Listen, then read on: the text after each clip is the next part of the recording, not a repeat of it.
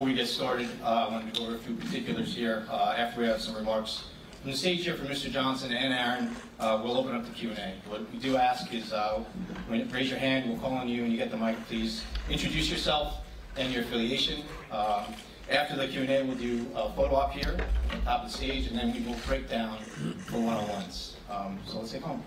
Uh, Pleasure to bring the stage the chairman of the New York Jets, Mr. Woody Johnson.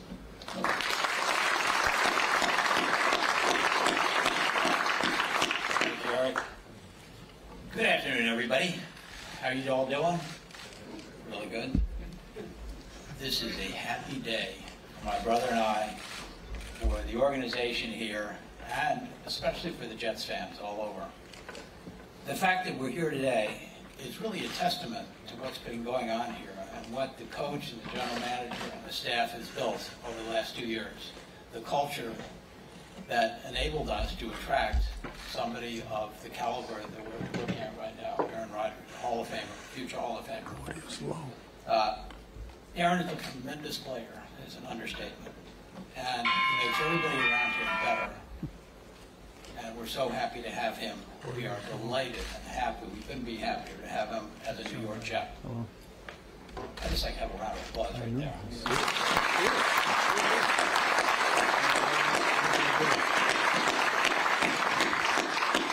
Welcome to New York, Aaron.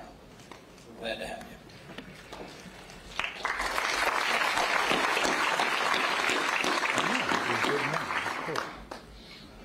thought you were supposed to shake my hand.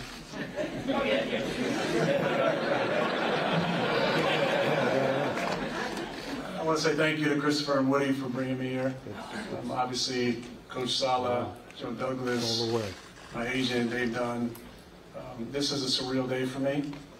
After spending 18 years in the same city, it's been a lot of uh, introductions today and meeting a lot of people, but there's a lot of excitement.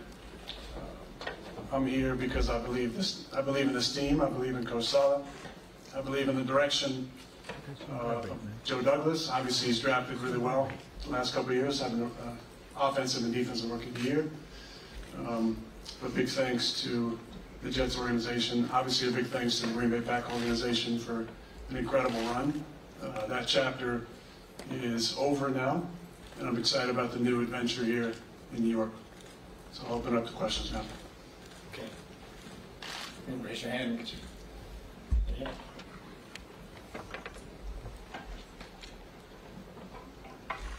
Hi, Aaron. Welcome. Congratulations. Tina Cervasio from Fox 5 New York. So you mentioned the draft just now, and you believe in the direction that Joe Douglas is taking the team. But what really attracted you to make you start thinking that the New York Jets would be the next team you would play for? Well, they smoked us last year, so I knew they had a good team. uh, we got to practice against them a couple years ago, and I got to get to know Robert a little bit more. And I've always loved what he's all about. We played him in San Fran a, a few times, and mostly they got the best of us. Um, but I liked the way that he was leading, his coaching style. Um, a big reason I'm here, I gotta mention, is Nathaniel Hackett, who's here. Uh, Hack and I became really close friends for three, uh, excuse me, three years in, in Green Bay, and I love him like a brother, and I believe in him, and I'm uh, really happy to be back working with him again. Obviously, Joe has got a great track record so far of drafting some incredible players, uh, but it takes a system, and obviously Robert has the uh, the right sauce. So I'm excited about getting to work with him and Brick and uh, Marquand, former teammate of mine, and uh, it's a great staff. But you know, I'm an old I'm an old guy, so I want to be a part of a team that can win it all. And I believe that this is uh, a place we can get that done. Over here. Rich. Hi, Aaron. Rich Cimini, E ESPN. It's been about six weeks. Hey, it's been about six weeks since you said on McAfee that you wanted to play for the Jets. So I'm just curious, what was it like? This process lasted a, a pretty long time, longer than people expected. What was it like for you waiting the six weeks? And was there any point where you thought maybe that this trade would not happen? And when did you, did you know for sure that you were going to be a Jet? Not, I mean, not really. I believe it was going to happen the entire time. Just a matter of, uh, I think, waiting each other out. My intention coming out of the darkness was to pursue uh, this opportunity, and I enjoyed the meeting uh, with, you know, Woody and Christopher came out, these two guys, Hack, Jaime, and I just got a great feel with uh, all those guys about the possibility. And as I leaned into it, uh, getting back into some more strenuous workouts, um, I just really believe that this was where I was supposed to be. Um, A lot of things had to come together. Uh, I believe there was some major synchronization to make this happen. Um, But I'm excited about the opportunity here. I always believed this was uh, possible. And things moved pretty quickly on Monday, and and thankfully I'm here now. Bruce? Aaron Bruce Beck, NBC4 New York. Hey, Bruce. Welcome. Thank you. How driven are you to win for this fan base, which hasn't been to the playoffs since 2010, the longest stretch in professional sports for the four different leagues right now? That's, ex- that's exciting. Just have an incredible, passionate fan base. I saw that last year at, at Lambeau. Obviously, you know about Fireman Ed and, and uh, uh, you know his passion for the team. Uh, I think that's an exciting draw to this as well, as being a part of something special. I grew up watching old VHS tapes of, uh, of the Super Bowls, and so obviously I know about the guarantee and, and Broadway Joe. Been a while since then. I noticed uh, walking in this morning that that uh, Super Bowl three trophy is looking a little lonely. So Right. Hey, Aaron, uh, Brian Costello, New York Post. In your view, is this, you're here for 2023 and then we'll see what happens? Or do you view this as more than a one-year thing right now? yeah, right now I'm just going to focus on this season, and uh, I'm excited about being here. I expect to be here uh, for the duration of the offseason. I'm excited to get, to know my new teammates and the coaching staff and the organization, and and obviously I have a background with Coach Hackett and that offense, but um, I'm excited about just diving in and being a part of uh, this group and getting to know some of the names of uh, my teammates, and also I'm excited about working with all you guys. I've heard a lot about the New York media, and excited to see what that's all about. Uh, Matt Schneidman, The Athletic. Hi, Matt. Hi, Aaron.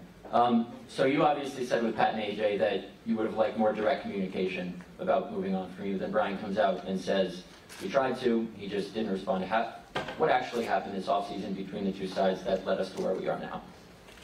Uh, I mean, I don't know if I need to really get into the specifics. Um, I will say, people that know me, uh, I'm fortunate to live in a, in a beautiful house. The only downside is I have very limited cell service, so if you want to get a hold of me, I have to see your face. You got to FaceTime me. Uh, So the only response to, to the communication thing is, there's, you know, records in your phone about who called you, when, FaceTime. And there wasn't any specific FaceTimes from any of those numbers that I was looking at. Um, That's neither here nor there, because we're now we're at this position. Um, Obviously, that's somehow, you know, what, uh, the direction they wanted to go as far as they couldn't, the story, they couldn't get a hold of me, which led for this to, to be the case. My point was, if, if there was a change that wanted to be made, uh, why wasn't that told to me early in the offseason? Now, obviously, my future was undecided at that time. I didn't know if I wanted to keep playing. I wanted to go into my darkness retreat and, and sit with it and contemplate. Um, But when I came out, it was evident that it was uh, retire or move on to a new team. Right here. Aaron, Joe Messeri, Pix 11, over here. Hi. Hi. Um, You mentioned thinking about retirement. I believe you said at one point it was like 90%. So how much about it was the Jets specifically and what they had to offer? Was it the Jets or retirement? And how much are you motivated by the fact that Green Bay maybe wanted to move on or was ready to move on going into this season? I mean, not really motivated by that, honestly. I- I'm, I'm very self-motivated, and I can find different ways to get that extra little inspiration all the time. Uh, It's, when you get older, it's fun to, uh, to go out and prove it each year that you can still do it. And that's enough motivation, I think, that I need.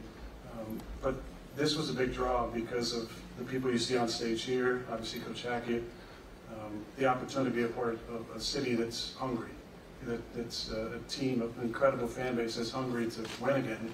Uh, 12 years without a playoff, uh, not, you know, Super Bowl wins since Super Bowl three. It's been a long time. So the opportunity to be a part of something special here, uh, it's different. You know, it's similar to Green Bay in that way. When you win in a city like Green Bay, I assume for a team like the New York Jets, you go down in history. and There's something special about adding that to your legacy. Hi, Aaron, how are you? Josephine Anderson, Josephine. Sports. To see you.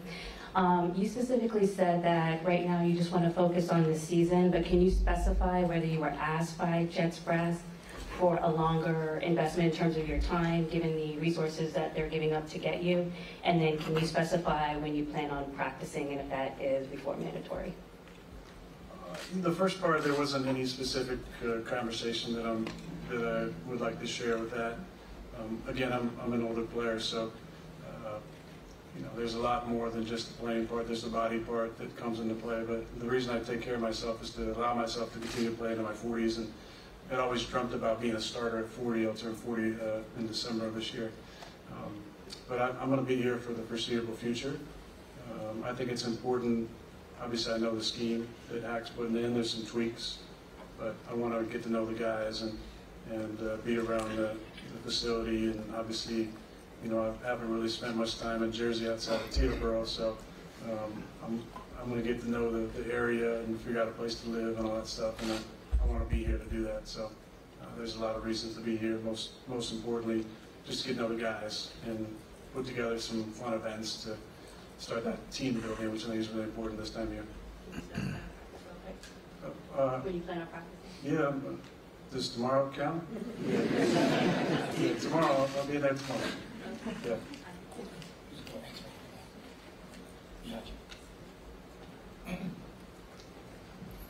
Hey, Aaron, it's Antwan Staley for the New York Daily News. How you doing?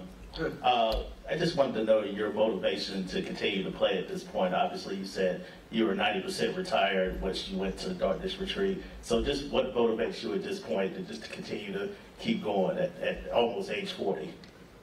Well, it's joy. You know, you want to be having fun with what you're doing. Uh, if you're not enjoying it, then it's time to do something else. And I think the opportunity to work with Nathaniel again, to work with Robert, um, to, uh, to be around Joe, to be around the Johnsons and, and the vision they have for the team. Uh, I think the excitement of a new chapter uh, has really been fueling my off-season workout so far, and just the overall excitement level. Um, I've mentioned the Jets fans, an incredibly passionate group. I'm excited to meet them, to play in front of them, um, but to be a part of something special is what keeps you coming back. And I think this is this is building right now. And what Coach has done the last couple of years, uh, he's building something special the right way, with the right values, uh, the right type of leadership, and I think I can just fit in perfectly. I'm not here to be a savior of any kind. I'm just here to be uh, the best quarterback I can be, to lead authentically, and to inspire the guys around me to raise their level of play to, uh, to an even greater, greater spot. Aaron, uh, Zach Rosenblatt with The Athletic. Uh, you, you alluded to this before, but whenever any- somebody comes here, uh, they talk about can he handle the New York media market, all that stuff. I'm curious what you think about moving to a big market like this and how you think the added attention, how you think you'll be able to handle that. I'm excited about it. Uh, definitely have heard a lot about the media. You guys have a job to do. You're very good at it. Um, I'm excited about the opportunity uh, to work with you, with you all, to get to know you guys. Uh, and I've been in Green Bay for 18 years. It's a long time in a small town. That's been great.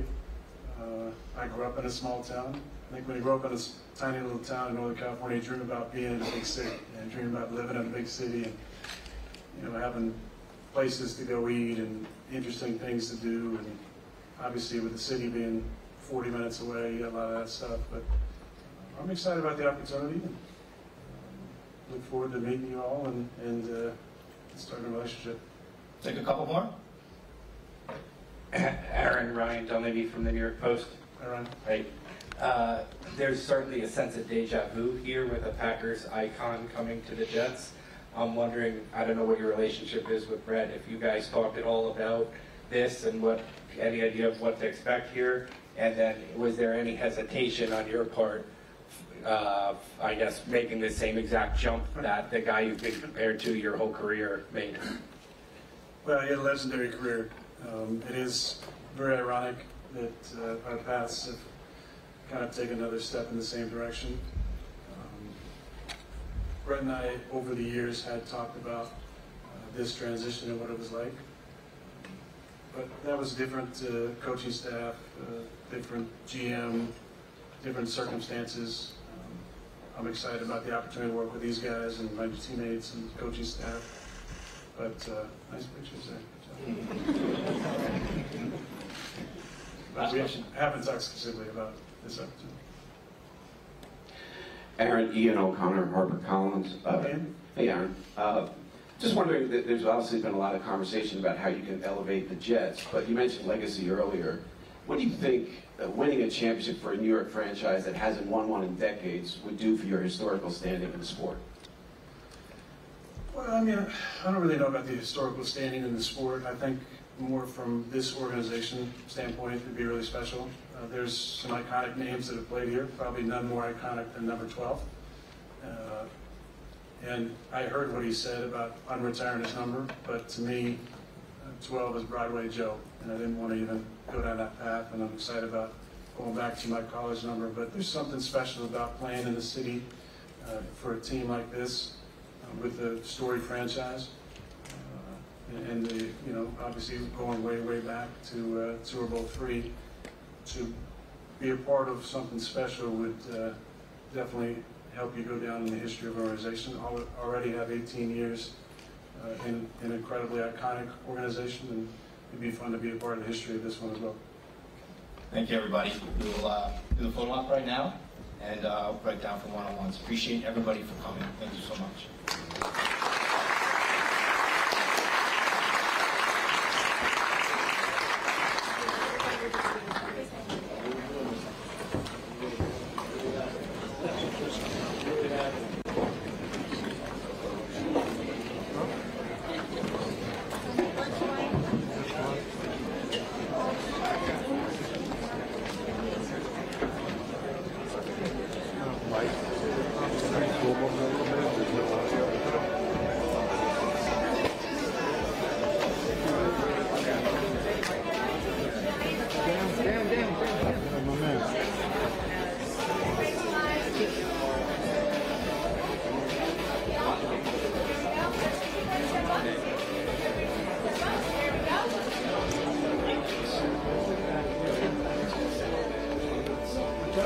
Right here.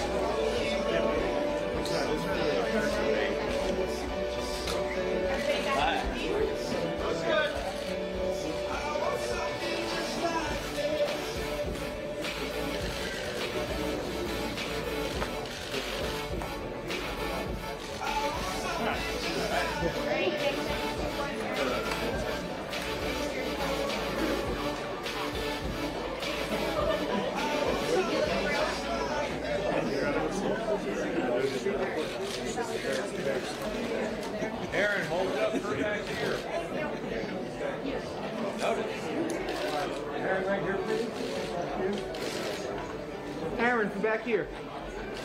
From back here, too. Yeah. No. No, only for the floor. Here, guys. Is that enough?